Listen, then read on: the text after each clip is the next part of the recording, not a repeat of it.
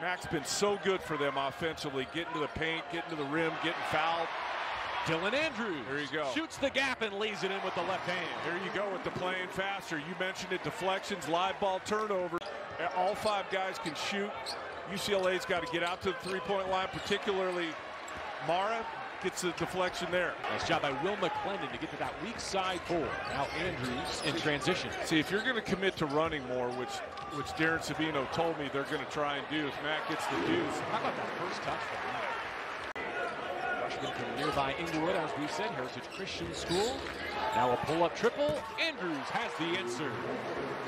He went one for 10.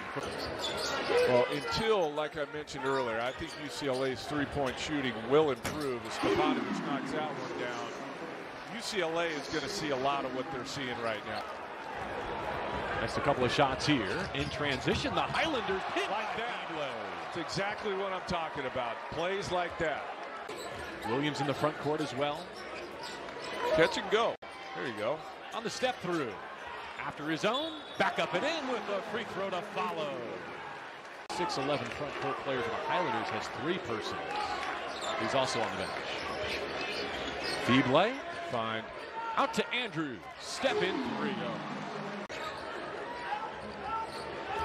See if they get Mack going here as he rolls to the lane, able to dish it off, and Nwuba gets a sling. Uh, on the spin, he slipped to go to put his head down and drive to make shots, not to just draw fouls.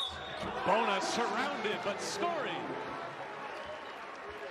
Understanding when defense is out of position, I try and get the foul or get the contact. When they're when they're in position, I got to make a shot. Four minutes into the second half, and Mack in the front court corrals it.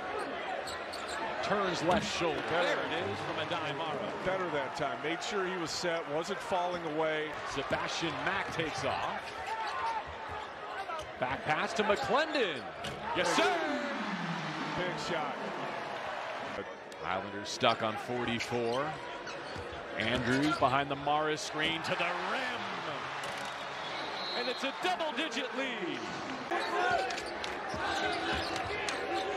Andrews to the wing. McClendon lines up a three. Two big threes in the second half for McClendon. Coming up on the under four timeout. Bruins clinging to the lead. McClendon's had the hot hand. Have a night, Will McClendon. Here comes the sophomore. Off the screen. Draws contact. Kisses it in for the go-ahead buckets.